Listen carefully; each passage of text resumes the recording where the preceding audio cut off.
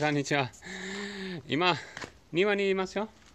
で、ガラケーを一輪車でどかしてます。えー先週ちょっとやってみてから、ちょっと落ち込んだよ。これはどんだけ時間かかる。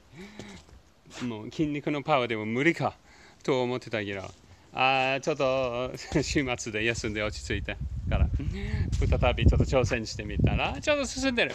この塊がちょっとちっちゃくなってる。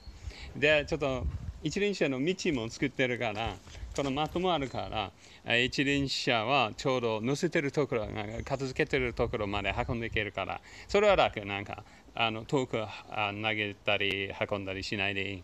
そして一輪車に乗せてから、こちらをして、これちょっと難しい。重いけどできるってってたって感じ。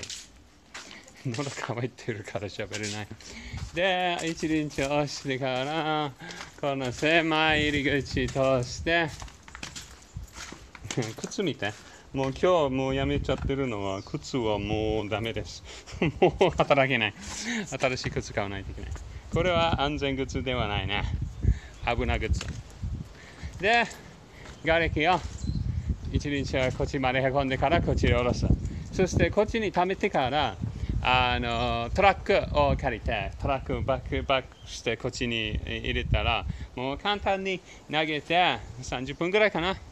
さ投げていっぱい投げてトラックがいっぱいになってから西原にあるあ無料であの捨ててもいいところがあるから鉢に運んでいく農が予定だからもしちょっと肉体労働経験してみたい人が見てるならあ今日、まあ、毎日じゃないんだけどけしばらくは結構毎日 結構やってるから、えー連絡してからあの手伝いに来ればとってもありがたいです。はい、今日も見て見てくださってありがとうございました。バイバイ。